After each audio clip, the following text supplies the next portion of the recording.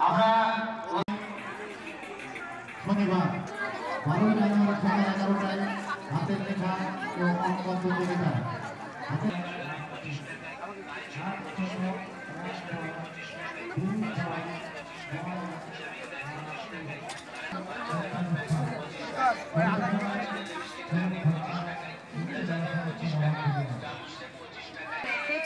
পঁচিশ টাকায় পিঠ চুলকানো হাত নিন পঁচিশ টাকায় চিরুনি সেট নিন পঁচিশ টাকা আয়না চিরুনি